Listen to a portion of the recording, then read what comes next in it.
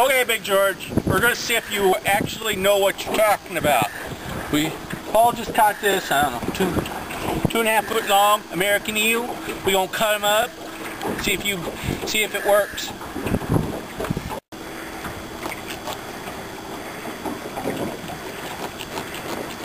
He's still alive.